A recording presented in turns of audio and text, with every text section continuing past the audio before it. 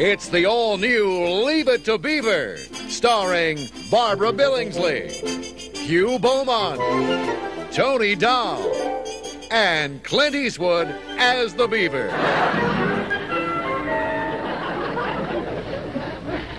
Beaver! Hey, Beaver, they're calling you. Uh, not now. I'm cleaning my gun.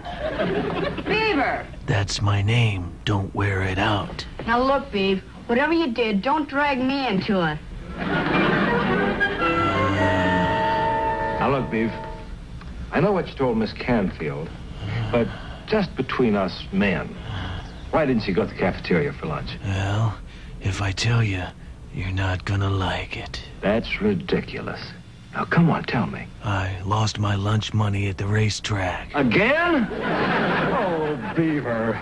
Your mother and I have been very patient with you, but this habit of losing money has got to stop. How come you're so mad? You don't win out there all the time either.